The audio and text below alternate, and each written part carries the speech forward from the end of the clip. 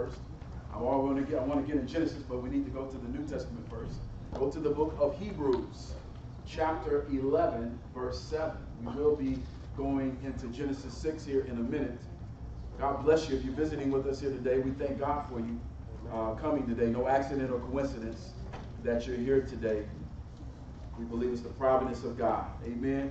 Hebrews chapter 11, and we're going to begin at verse 7. Hebrews chapter 11, verse 7. Rescue. Rescue.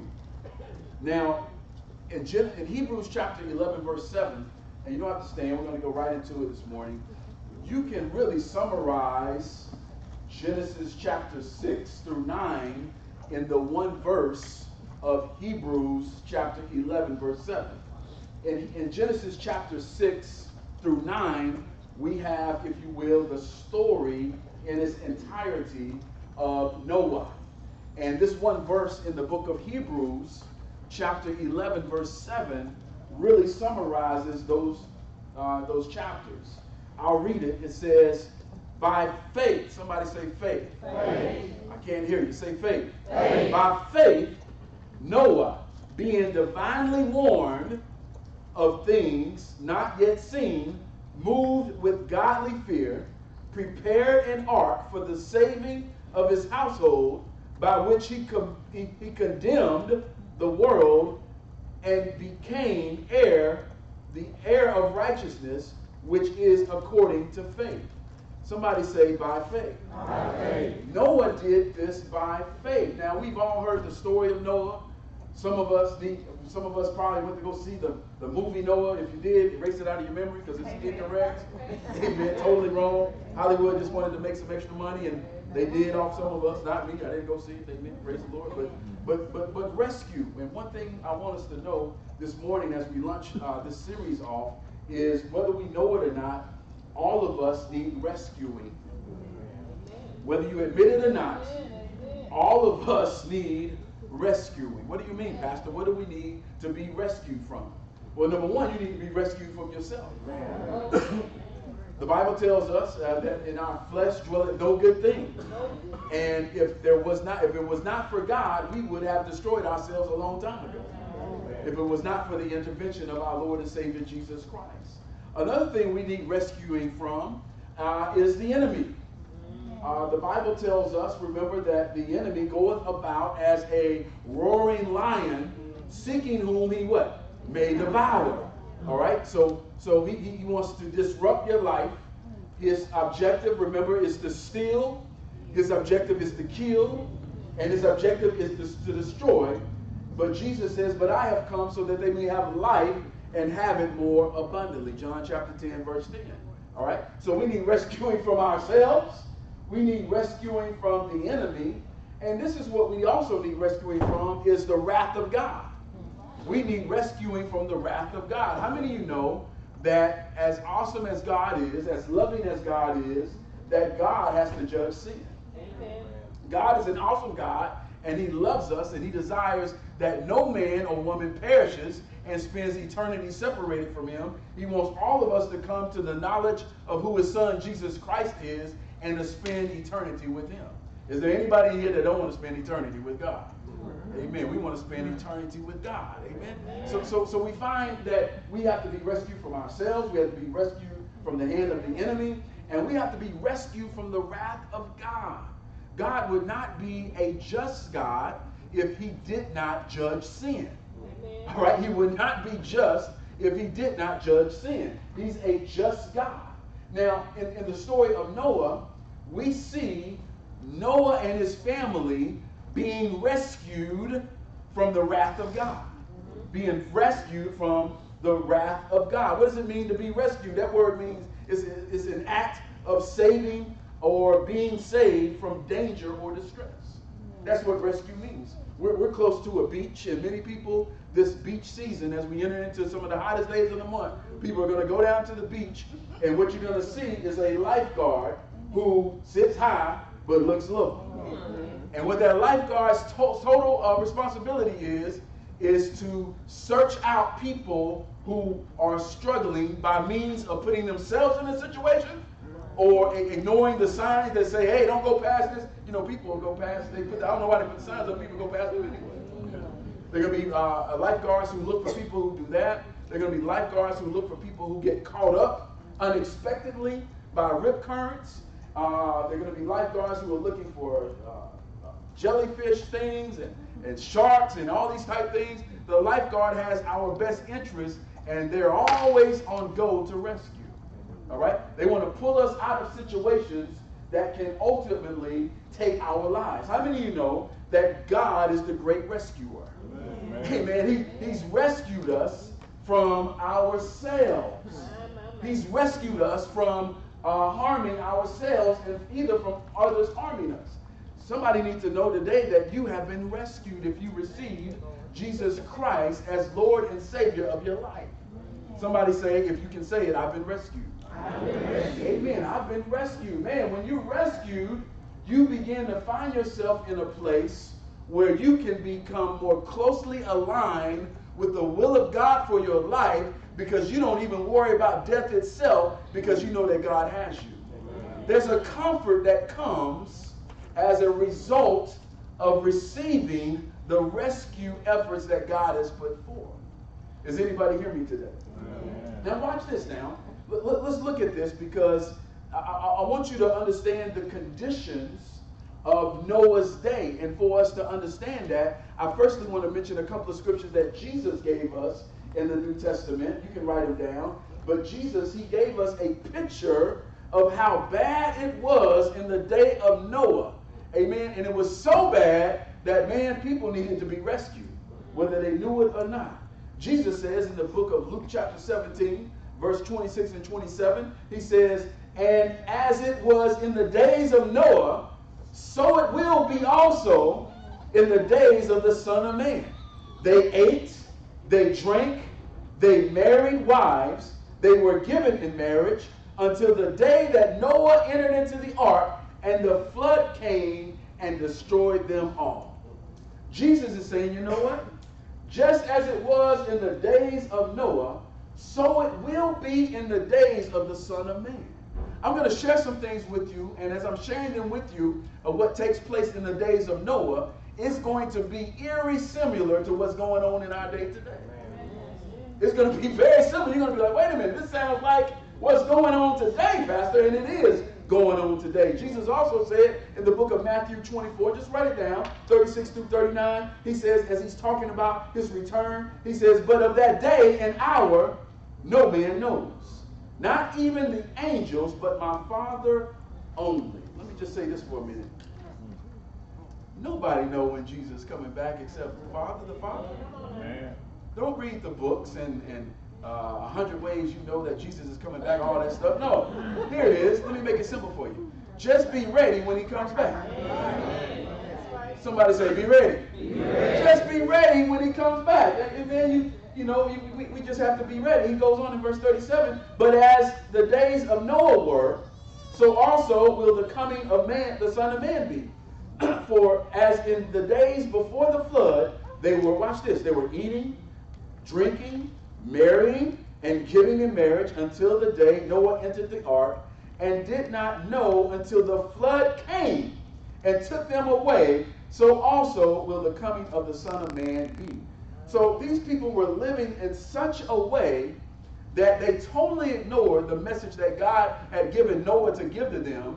And they say, you know what? We're just going to eat, we're going to drink, and we're going to be merry. We're going to do our own thing. Noah, I hear you preaching the good news, and Noah really only had one message. It's going to rain.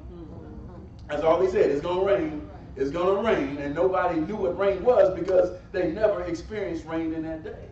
But they went on doing what they did day by day, ignoring the message of God. And here's the sad commentary is that they did not know they were in trouble until the flood came. Somebody say that's too late. Amen. Look, if you're being rescued, you got to grab the life preserver while it's in front of you right now. Amen. There's a time that's coming where the life preserver will not be available for us to grab onto to get to the place where God wants us to go. We got to get to a place in life where we recognize, you know what, man, I don't care what nobody else is doing. Uh-huh. I'm not doing it. Do I have some saints in here who are not compromising saints? Secret Service saints, amen. We, we in the church today, amen, and I know everybody, we can get along in the church. Everybody's a Christian when you come to church. Everybody praises the Lord when you come to church. Everybody, we all on the same page, but God is concerned. What do you do about yourself when you step outside the boat? How are you acting in your family? On your job? Are we still representing him as we were when we were in church, clapping our hands and raising our hands to him? That's what God is interested in. Now watch this now because the, the, the, the, five major things, and, and I'm getting to the point where I'm going to give you five lessons we can learn from Noah, Noah. But here's the environment, and there are five major things that were going on in um, Noah's day. Go to Genesis 6. Here we go. As we begin to take off. Amen. There were five major things. Number one, there was an explosive population. There was an explosive population. Watch this now. The Bible says, Now it came to pass when men began to multiply on the face of the earth and daughters were born to them. Y'all see that? Amen. It was an explosion. Millions of people were populating the earth. Somebody say, What's wrong with that? Well, we have to begin to read verse 2 to find out what's really wrong to that, which brings me to the next two points. The other thing that was major is there was sexual perversion. Sexual perversion. And the third thing, watch this, there was demonic activity. So there are three things right there, right? There, there was an explosive population. The second thing is there was sexual perversion. And the third thing was there was demonic activity. Verse 2 tells us that. It says, verse, verse 1 says, Now it came to pass when, when men began to multiply on the face of the earth, and the daughters and daughters were born to them. Watch this now, that the sons of God saw the daughters of men, and they were beautiful, and took and they took wives for themselves of all whom they chose. Y'all see that? All right. Somebody say, what's wrong with that? Well, if you keep reading, watch this now. Verse verse six says, and the Lord was sorry that he made man on the earth, and he was grieved in his heart. So the Lord said, I will destroy man whom I created from the face of the earth, both man and beast, creeping things and birds of the air, for I am sorry that I have made them. Isn't that something? That's sad commentary. The, the, the, verse 3 says, and, and, and the Lord said, My spirit shall not strive with man forever, for he is indeed flesh, yet his days shall be 120 years. There were giants on the earth in those days. And also afterward, when the sons of man came into the daughters of men, and they bore children to them. Those were the mighty men who were of old, men of renown. So watch this now. Many people believe that um, these are two trains of thoughts as it relates to what has happened. Number one, watch this now. Uh, people believe that the line of Cain, which was a, a murderous line, and a godly line of people came together and had children and produced an offspring that was ungodly. All right? I don't ascribe to that. What I ascribe to is that this the Bible mentions the sons of God, which we can, uh, uh, if you go to the book of Job, chapter 1, verse 6, for example, it talked about the sons of God roam to and fro, and that's referring in that context to angels. Okay? All right? So, what, wait a minute now. Do you mean, Pastor, that angels came down from heaven and had relations with women and they produced an offspring that was ungodly? Well, angels are ministering spirits. So angels, in and of themselves, do not have the plumbing to uh, reproduce. All right? Can I say it like that? All right? So what has to happen is understanding that the when, when, when, when, the, when Satan and a third of the angels were cast out of heaven, they fell into the earth. And what spirits look for who are evil, especially, is a body to navigate in. That's right, that's right. All right? I'm talking about demonic possession. I'm talking about spirit who is looking for a place to reside. A lot of the challenges and issues that people face is not because they need more medicine. It's something deeper going on a spirit has taken resident in that body to cause the type behavior that is happening. All right, remember when Jesus, when he goes uh, to a place and there are two men who are demon possessed, and the Bible says that they couldn't go any further because of these men who were demon possessed. They were crazy, they were wild, they were they were living in tombs. The Bible tells us. Well, when Jesus shows up on the scene, their language begins to change. That's right. What do you have to do with us, Jesus? Is it our time? Are you going to take us out before our time? And the Bible said that Jesus simply said, Go. That's right. That's all he said was go. He didn't have to say, in the name, he didn't have to do all that. He just said, go. See, when you say go to a demon and the Jesus in you is speaking through you, then that demon has to go. My point is simply this that when the demons came out of those men, they had to go into a vessel in order to, uh, to, to, to remain uh, active or alive. Remember, they went into swines, they went into pigs, and those pigs ended up what? Running off the cliff and drowning. All right? Spirits have to have a place to reside, and I believe this is what was happening in the days of Noah is the evil spirits were coming in, they were getting into these foolish, crazy men, and they were impregnating people, and you had a rebellious generation. Y'all understand that? The, the, the, the fourth thing is this. I'm just on the fourth thing. It is constant evil in the heart of man. There was constant evil in the heart of man. Now watch this now as we read verse 5. I want to slow down and read it because sometimes we read through stuff too fast. But notice what he's saying here in verse 5. He says, Then the Lord saw the wickedness of man, saw the wickedness of man was what? Was great in the earth. Watch this now. And that every intent, underscore that, every intent, every imagination, every intent of the thoughts of his heart was only evil how often? That's a bad generation. When you have everybody, watch this now, everybody, every imagination, every thought is only evil continually. The stuff that you hold back from saying, you just would have said.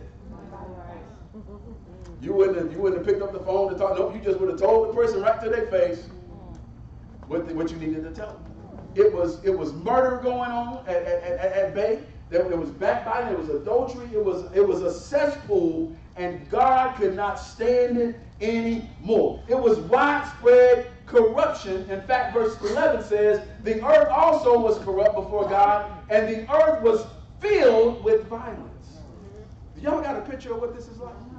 It was filled with violence. How, how, does this sound comparable to what we're going through right now?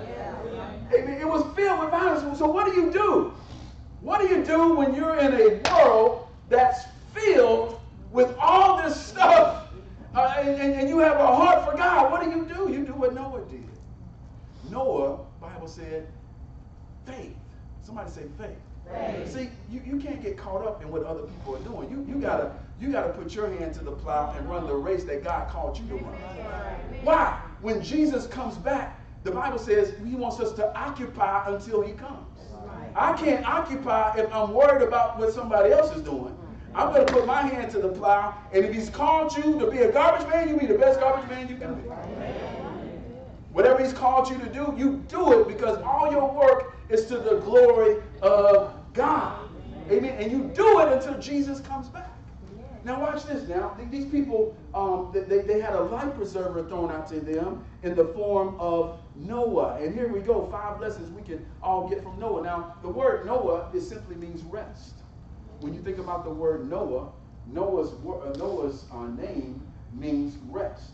You can go back in Genesis chapter 5, I began, I, I believe in around verse 28, and you can read about his father Lamech and what he said about Noah. He knew that Noah was someone who was special, someone who was anointed to be born in the earth for such a time of what he was to be born for. Amen. Five lessons we can learn from Noah. How many of us would agree that we're in a hellish world, but God still has a remnant who's on fire for him? Amen. Do I have a witness in here? Anybody on here on fire for Jesus? Regardless of what the news says, regardless of what's going on in your neighborhood, or even in your own family, you still love Jesus. Amen. That stuff shouldn't change your attitude in terms of how much you love Jesus. Amen. When you're sold out to Jesus, it don't matter what's going on. You begin to be a representative for him. You begin to let your light shine. Amen. Five lessons. The first lesson we can learn from Noah is Noah found grace in the eyes of God. I like to say it like this. If you want to say it like this, say Noah walked with God. Somebody say that with me. Noah. I can't hear you. Noah. Noah walked with God. Noah walked with God. Watch this now. Noah is the only man that God is speaking to in the whole world. Why? Because he walked with God. God knew him and he knew God. That's what that means. He walked with God. The Bible says a few verses earlier about Enoch. He walked with God and he was no more. Man, what is it? What kind of relationship is that that you're walking with God? He was the only one in the whole world that God was talking to. Verses 8 through 10 says, Noah found grace in the eyes of God. Law of first mention of the word grace. The first time you find the word mentioned in the Bible, grace. Noah found grace in the eyes of God. This is the genealogy of Noah. Noah was a just man, perfect in his generations. Noah walked with God. And Noah begot three sons, Shem, Ham, and Japheth. Write this down. Your proximity to God matters. Your proximity to God matters. Don't watch this now. Don't be a, um, a, a, a Pluto saint. Amen. What, what, does that mean? Amen. Uh, in, in, in our solar system, Pluto is the planet that's farthest away in our solar system from the sun. It's cold on Pluto. Don't be, look at your neighbor and say, don't be a Pluto saint. Please don't be a Pluto saint. Amen. They, they're cold. They don't even know the sun exists. Amen. Somebody say, I need to be a Mercury saint. Mercury saint. It gets 801 degrees on, on, on the surface of Mercury. 801 degrees. Is why? Because it's closest to the S-U-N. But I'm not talking about the S-U-N. I'm talking about being close to the S-O-N. And then you can walk with him. And when you walk with him, he'll begin to speak to you. Amen. The reason many of us, watch this now, it's a shame to live your whole life as a believer and to never hear from God. Isn't that a shame? You wait a minute, he's the good, the great, and the chief shepherd, and you're a sheep and you never heard the voice of your shepherd? Well, maybe that explains why things are the way they are. We have to, we have to walk with him. We have to, the Bible says, uh, uh, uh, uh submit, submit your life uh, to, to God. Resist the devil, and he shall flee. Many of us are hanging out with the devil. And we begin to wonder which voice are we hearing? A double-minded person is unstable in all their ways. We got to begin to hear the voice of God. But that deals with, watch this, your proximity to him. The closer you are to him, as Noah was, you begin to get brought in on what God is doing. Man, do you want to know what God is doing in your life? Take some time and talk to him. Turn off the TV. Amen. Don't, don't call in sick and say, I'm going to stay at home and watch TV. No, if you're going to call in sick, now, you better not call in sick unless you're sick. But, but if you're going to do it, you need to. Amen. But, but, but, use your time wisely when you can begin to grow closer and closer to God. That's what Noah did. The Bible said he walked with God. He walked with God. He walked with God. He was a, a, a Mercury believer. Amen. He was close to, to God. Psalms 84 11, write it down. It says, For the Lord God is a sun and shield. The Lord will give grace and glory. No good thing will he withhold from them that walk uprightly. God will not withhold, withhold anything from you when you begin to walk uprightly. Noah, watch this now. He, he, was, he, was, he was favored of God. God favored him. He says, because you're walking to me with, with me, Noah, I'm going to let you in on a little secret. Hmm. I'm about to destroy the world. But you know what? Because you walk with me, Noah, because you love me and you show me your love, I'm not only going to save you, but I'm going to save you and your family. And I'm going to save the animals too. All these other hellions talking about uh, talking about you. And I know it's been 120. Can you imagine 120 years to build an ark? I, I know it probably about year 10, he was like, man, I don't see no rain. What is, what is God talking about here? What is going on?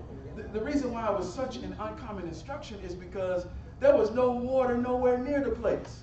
A hundred miles away was probably the closest body of water. And on top of that, it never rained.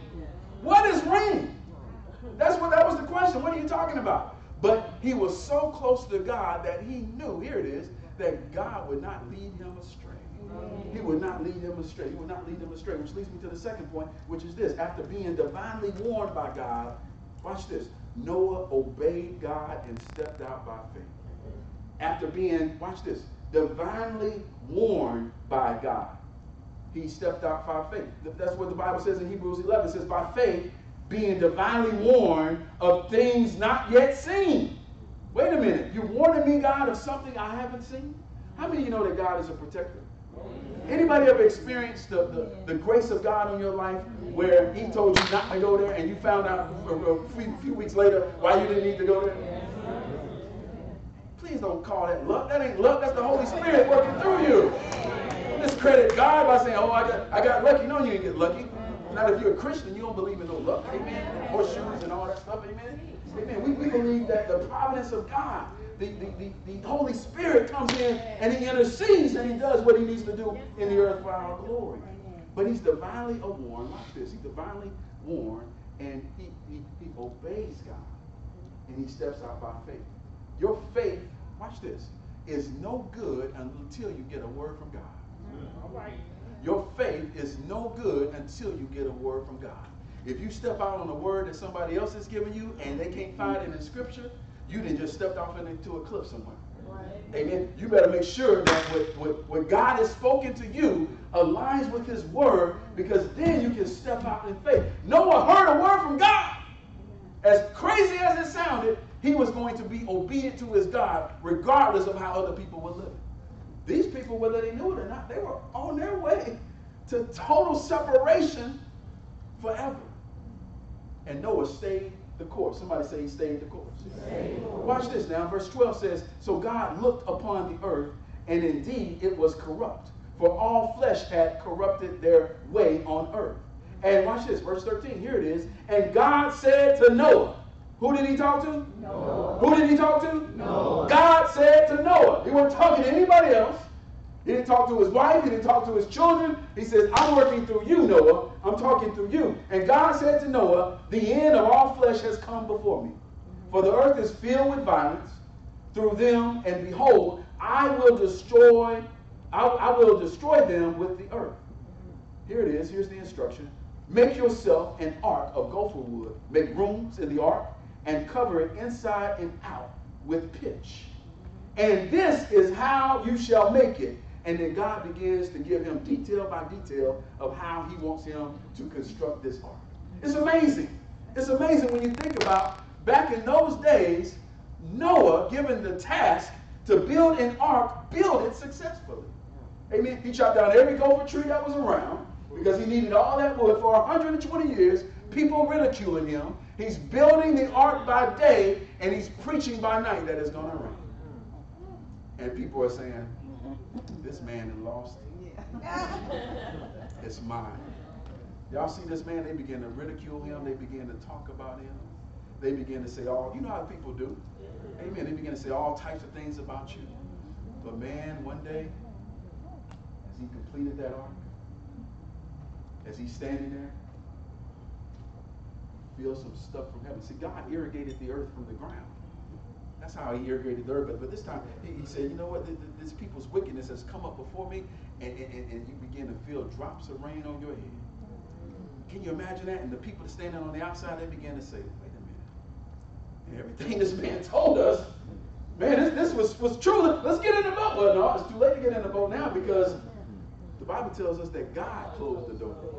And see, people, like I always say, when God closed the door, it's too late. You can't, you can't, you, know, you can't open back the open door. I need a, you ain't gonna open the door when God is closed the door. That door is sealed. Somebody say sealed. It's sealed and it's, it's, it's, it's over. Verse 22 says, Thus Noah did according to all that God commanded him to do.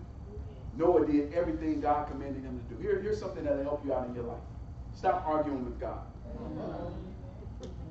Stop telling God, I ain't know how, and all that stuff. God says, Will you just do it? go to um, here we go. Let me let me give you some background here because I want you to get this. I want you to understand that when you get a word from God, you need to step out by faith. Faith is not hoping, wishing uh, that it's going to work out. No, faith is no. God has said it. I'm walking out. God said there's no bridge there. but I want you to begin to take a step. And as you're taking steps, I'm going to unfold the things that need to happen in your life. And we, many of us, are still stuck here where we won't even step out. And God says, I can't manifest the next thing in your life until you step out. We're afraid to fail, and God will never fail you if you believe Him in Jesus' name. Go to Matthew 7 24 quickly. Let me show you this. Amen. God will never fail you. Somebody say, God will never fail you. God will never fail you. Watch this now. Noah understood God's voice, and therefore he was obedient to God and he stepped out by faith. This is the words of Jesus. He says, Watch this. Therefore, whosoever heareth these sayings of mine, watch this, heareth these sayings of mine, and what? I can't hear you. So it's one thing to hear, but it's another thing what? It's another thing to do it. All right? Uh, faith without works is what? Man, you can have all the faith in the world. But if you're not willing to step out on that faith, then the Bible says without faith, it is what? It's impossible to please God. Do you think you're pleasing God by hanging on to the rail when He's asked you to let go and to step out? I don't know what your situation is or your circumstance is, but at some point in your life, you gotta be tired of depending on other people. You gotta be tired of depending on yourself, and you gotta start trusting God. Amen. You gotta start stepping out by faith. Jesus says, Whosoever heareth these sayings of mine and doeth them, I will liken him unto a wise man which built his house upon what? Did y'all see that? Upon a rock. Upon a rock. Go ahead, watch this. The next verse says, verse 25 says, and, and, and, and the rain descended, and the floods came, and the winds blew and beat upon that house, and it fell not, for it was founded upon what? It was founded upon a rock. What's your life founded upon? You begin to find out what your life is built on when you go through trials and, and tribulations. God, I don't want no trial. Wait a minute. You begin to find out just how connected you are to God when, when you lose your job. You begin to find out how connected you are to, job, uh, to God when your children begin to act up. Amen. You begin to find out how connected to God when somebody looks at you and rolls their eyes at you. It's a test of whether we're built on the rock or whether we're built on the sand. Watch this. He goes on to verse 26 and he does a comparison here. And he says, watch this. Because what, what happens is we got to get built on the rock. Somebody say the rock. The rock. The rock. The rock. When they built the Empire State Building, they, they, they kept digging. They kept digging. The, the foreman, he said, let's keep digging. And one of the things he would say is, have we hit the bottom yet? Have we hit a rock yet? Nope. Keep digging. Keep digging. Keep digging. Keep digging. Because what we're about to build on this foundation is got to be on the rock. For when the storms came, it, it'll still hold. Okay? And God, watch this now. Many of you, He's wanting to take you to places in Him that you have never been before, but He's got to make sure that you're on the rock because He don't want you to be a Pluto Christian that when the storm came, you get caught And everyone that heareth these sayings of mine and doeth them not shall be likened unto a foolish man, which built his house upon what? Anybody in here ever built a sandcastle? You went to the beach and you built you a sandcastle and you may have went to the car and came back, and that sandcastle wasn't standing no more. You were disappointed, you were crying, you were doing all that, but guess what? You built it on sand. You built it on sand. Somebody say, don't build it on sand. Don't build it on sand. Don't build it on sand. Then we'll finish this out in 27. It says, watch this. It says, and the rain, watch this, it's the same storm. The rain descended. This is the same storm that the person who built their house on the rock faced. The rain descended, the flood came, and the winds blew and beat upon that house, and it fell.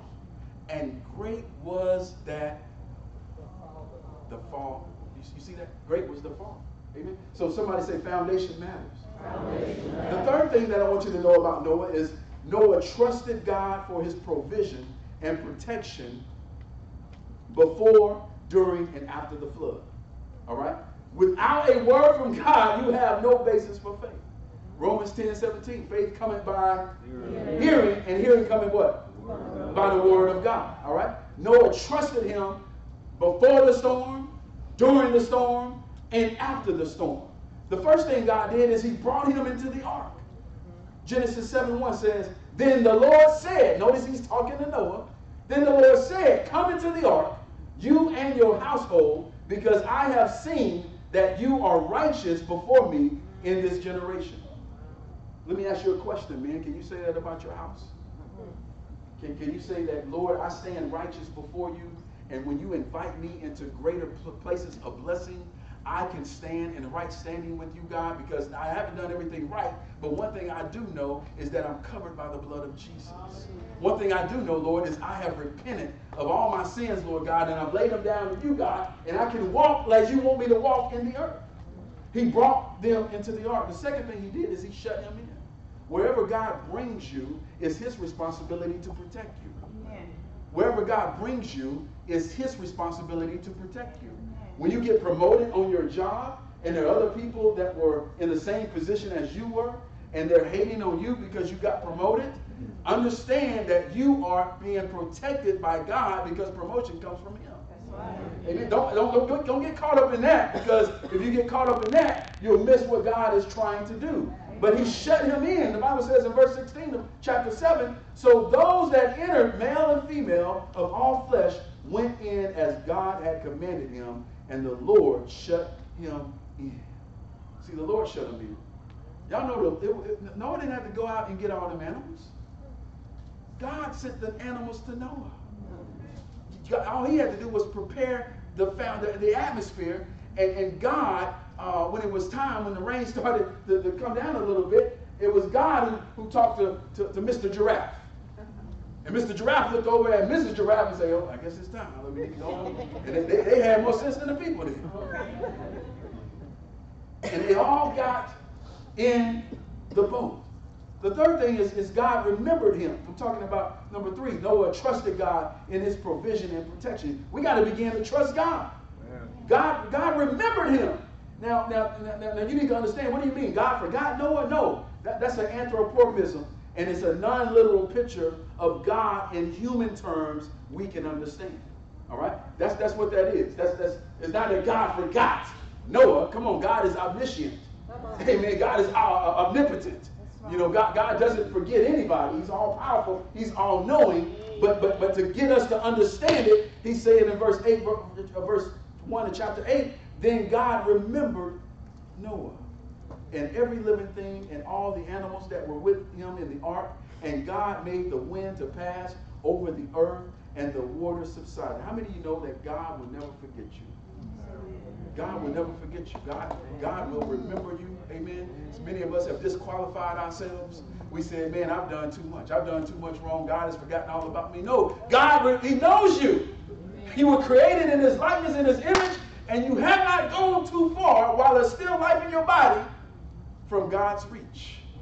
God will find you. Somebody say, well, you don't even know what I did last night. Pastor, guess what? God is right there waiting on you. He's right there with his arms wide open saying, when you come unto me, all you that labor and are heavy laden, and I'm going to show you rest like you never had before. Anybody ever experienced the rest of God? I'm talking about the true rest that brings peace that surpasses all understanding.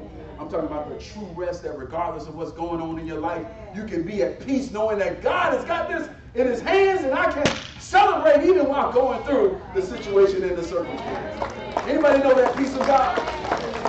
God, I don't know how it's going to work out, but what I'm going to do is keep my mind stayed on you, God. And you're going to keep me in perfect peace. I don't know where it's going to come from, but God, you're my provider. And God, I'm going to let go so that you can begin to intercede and do what you need to do to bring about radical change in my life. We carry too much. And God says, I never created you to carry all of that. All right, all right. You go and get second, Amen. third, and fourth job. Say, wait a minute, I ain't. You wait a minute. Get get your get your stuff straight. I never told you to go get three or four jobs to provide for yourself. He says you got too much money at the end of the money. Your money is running out before the month even runs up. He says, let's address that problem and stop wearing yourself out. Put me first. Somebody say, put him first. Put him first. Put him first. And when you put him first, number four is he, will bring you out. And that's what he did to Noah. He brought him out. He, he'll bring you out. Somebody right now, you're in the storm. You're riding the waves and you don't know how much longer you can go. God, this spouse is getting on my nerves. I don't know how much longer I can take it. God, this job, I just can't, I can't do it anymore. God, if once, if somebody say one more thing to me, God, I'm liable to snap Anybody ever been on your job before? But you got to understand that, man, if you're in the Ark of the Covenant, if you're if you're in Jesus Christ and Christ is in you, He's going to ensure that you come through. He that began a good work in you, He'll make sure that He completes it until the end. Why? For His glory. It's all about His glory on the line. Verse 8 of, of, of, chapter 8, verse 15 and 18, He brought them out. Watch this. He says it again in verse 15. Then God spoke to Noah. Y'all see that? Yeah. We, it's, a, it's a foundational thing. God spoke to Noah. God spoke to Noah. Go out of the ark, you and your wife and your sons, and your sons' wives with you. I love that. Amen. They, they were able to participate in the blessing of Noah because they were obedient to what Noah was preaching. Watch this. Bring out with you every living kind thing of all the flesh that is with you, birds and cattle, and every creeping thing that creeps on the earth, so that they may abound on the earth and be fruitful and multiply on the earth. Mm. So Noah went out, and his sons and his wives and his, his sons' wives with him. Do y'all see that? God is he's, he's, he's starting over with Noah. He says, you know what? I've only found one faithful person in the earth. In fact, I'm going to group them up. It's going to be eight of them. And eight is the number of new beginning. I'm going to start a new thing. Adam, I know I told you to be fruitful and multiply, but man, that, that, that, that, lineage that came after you was so hellish, I had to destroy them. Now I'm giving this command to this righteous man, Noah. I want y'all to replenish the earth. Man, look at the responsibility he had. He had the responsibility to build an ark in the face of people who were laughing at him, who were ridiculing him. He had the responsibility to take care of those animals and feed his family uh, and all those days that it rained. And, and, and, and, and now he's got the responsibility to replenish the earth.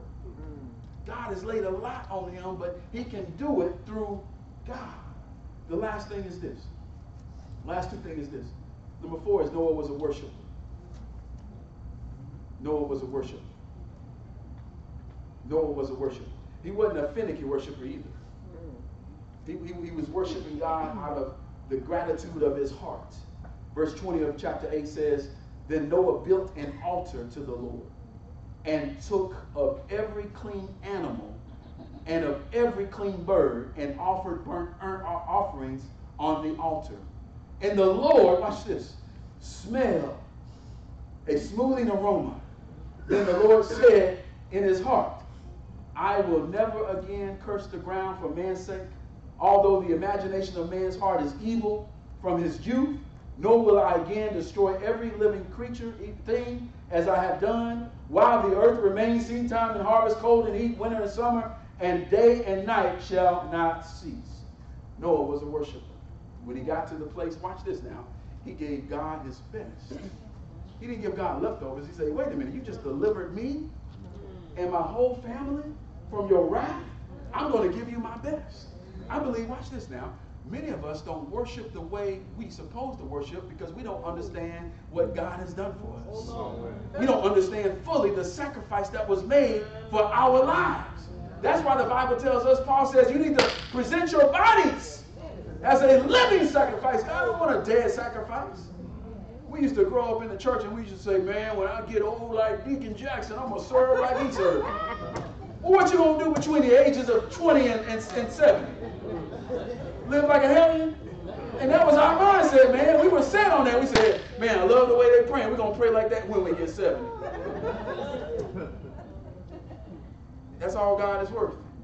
Live like you want to live for, for, for your life. And then when you get to a point where you need him, now you want, now you want to serve. Wait a minute. No, you got to serve him while there's breath still in your body. Man, when you're sold out to God, you don't you, you, you begin to look for things to do for him. You don't have to ask anybody, no, what, what I need to do for the Lord? And you begin to get involved because you understand there was a great sacrifice made for you. Noah sacrificed the best.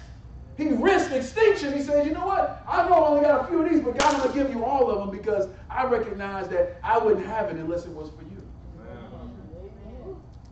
I ain't got time to go into a, uh, a giving message, but let me just say this. Let, let, me, let, me, let, me, let me say this quickly. And, and, and, he, gave an, he gave an offering. And, and, and, and you should, uh, out of the kindness of your heart, the Bible says, don't give grudgingly or of necessity.